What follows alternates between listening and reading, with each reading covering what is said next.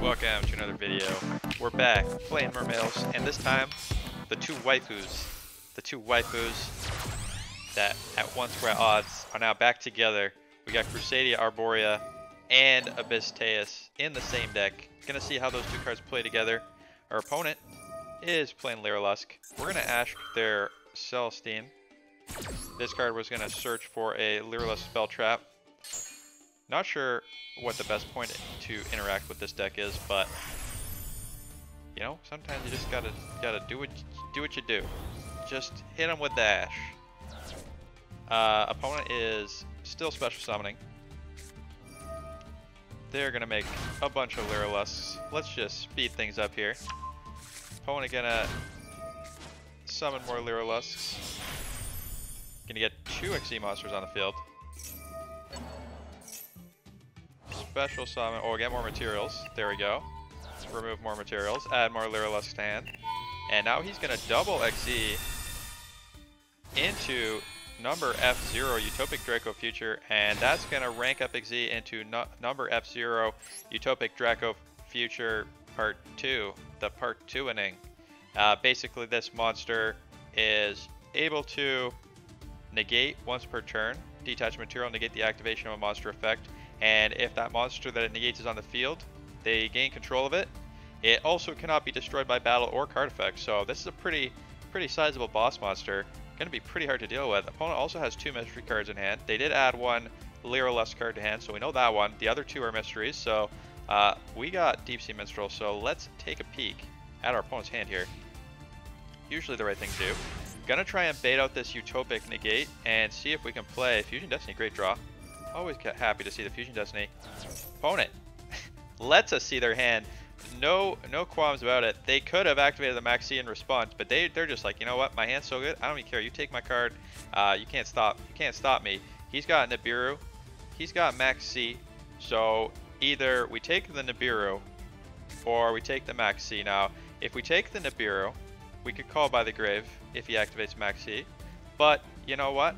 Where's the fun in that? Where is the fun in that? We, we need to save this Called by the Grave to deal with his little Lyriluscs. And you know what? I think the easiest way for us, us to get rid of this Utopic Draco Future is for our opponent to feel that he has to Nibiru. And if he activates Nibiru, he's going to tribute all monsters on the field, which means this Draco Future gets tributed. So let's see if we can bait our opponent into using that Nibiru. We're going to get a Search with Dragoons. Opponent not negating, choosing not to negate. Now, we could have searched Diva here, but if he negates Diva with the Draco Future, we're done for. That's it. He steals it. We can't link it off. That's game over. So I summon Prince. Prince does not activate on summon, so nothing to negate yet. And his effect to activate uh, basically just sends card to the graveyard to search. So uh, not a huge deal if he steals the Prince now. So chooses he chooses not to negate the Prince. So we're getting more searches. Dragoon's gonna add add this Moulin Glacia. Now, Moulin Glacia is going to threaten to make him discard that Nibiru. So we're going to see if we can force him, force him to get rid of that Nibiru. But we still got to get rid of this negate first. With this negate on field, we're in trouble. So let's see if we can get him to negate. Gonna summon the Crusadia Arborea from hand. Go into the Hulk Fibrax. Come on, opponent. Uh, opponent takes the bait. He's gonna negate the Hulk of Fibrax. Gonna steal our Hulk of Fibrax away from us. But Hulk of Fibrax did one last thing before his demise. He put exactly five water monsters in our graveyard. And you know what that means? That means it's time for the Moulin Glacia. Rip two cards. And opponent. Opponent is so scared. They're going to lose their Nibiru. They don't know what else we can do. He's like, I got to stop this. He activates his Nibiru. And I don't know why he does this. It's not going to do anything. Salamangreat Almiraj protects from opponent's destruction effects. Uh, but he's about to tribute everything with Nibiru. So, giving us the Nibiru, giving us a chunky Nibiru token, and now his Utopic Draco Future is gone. It's gone. And we made him discard that last card. And we got a Fusion Destiny. An opponent is done. Doesn't want to see it. Now our token was so big that he may not have been able to to do anything, even if even if he got his turn back, even if we didn't have the DPE. So we'll never know. Opponent uh, is done. All right, let's go to the deck list and show you what I've been doing. Alright, here is Splashzone version 14. We made a couple little changes here. We took two copies of Crusadia Arborea out, and we put in three copies of Abyss Teus, uh, and we put it back in the Abyss Pike. So, uh, you know, it's more fun. We got our Toad back in the sideboard. I know everyone was missing Toad. We also have some extra spice in the sideboard. We got Soul Soul Supreme Sovereign. We got Tatsunoko. We'll see if we get a chance to use these. Um, but yeah, that's the deck. I'll pan through the whole thing at the end of the video if you want to see the whole thing. Uh, if you like this sort of content, please let me know in the comments and consider subscribing to the channel. Alright, let's show a couple more games. Alright, no interaction for our opponent's turn. Opponent is playing True Draco's triple back row set. Now, this could be a problem. We don't know what these back rows are, but I'm expecting a Solemn Judgment. I'm expecting Skill Drains. We draw Lapis Dragon. Super awkward. You draw him, and his effect will let him special summon itself. Opponent can chain the Ignis Heat. When we activate a monster effect, he gets to search for a True Draco spell. And he's activating it. It's the Disciples. This will let him target cards in his graveyard, shuffle them in a deck, draw a card. Also lets him tribute summon True Draco monsters. So that's going to provide him recurring value if we leave that on the field. An opponent activating a Vanity's Emptiness in response to the Lapis Dragon entering the battlefield. Neither player can special summon monsters. If a card sent from the deck or graveyard to your graveyard, destroy this card. So we cannot activate Teus. Teus cannot be special summoned. Our opponent doesn't have cards in hand, so we can't activate the Deep Sea Minstrel to make the heavy infantry pop this. So that leaves us with only one option. We gotta use Abyss Pike. Abyss Pike normal summon, discard the heavy infantry. Now, we don't have to pop opponent.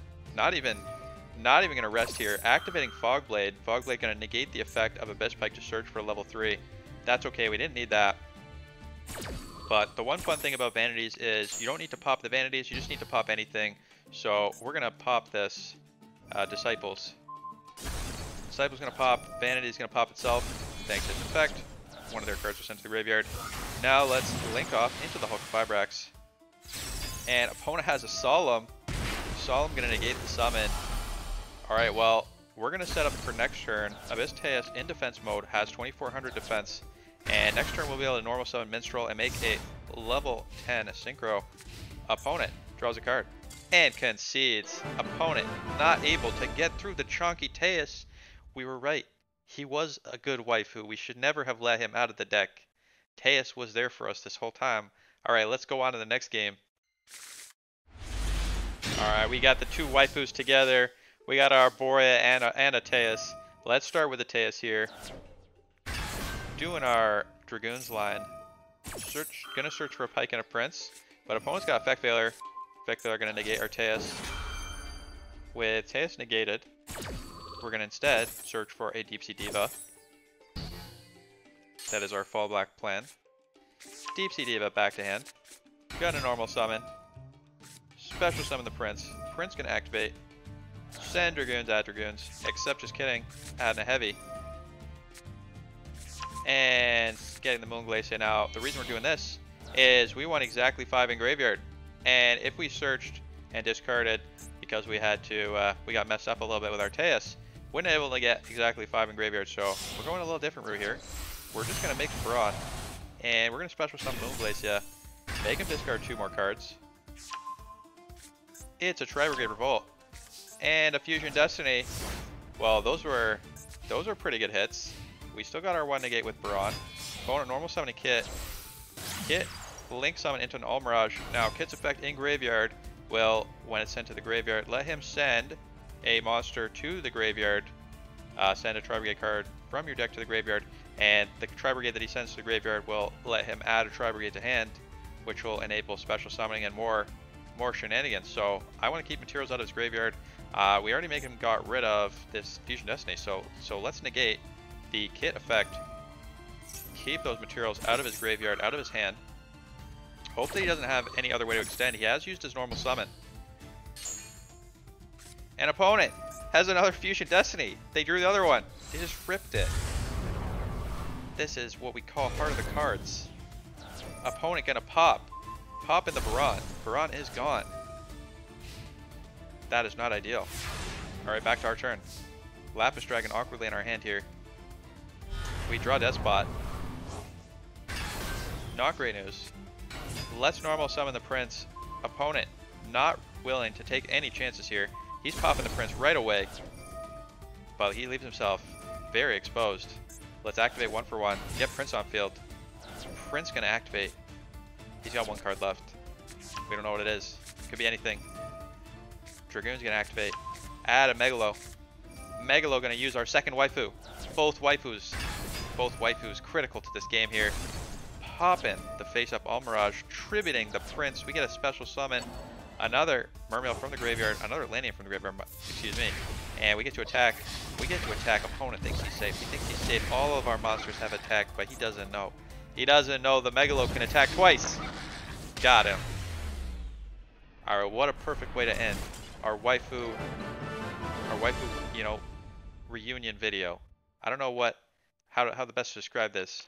Our waifus have made up. They're no longer fighting. You let me know down in the comments. Alright, hope you enjoyed today's video, and I'll see you next time. Have a good night.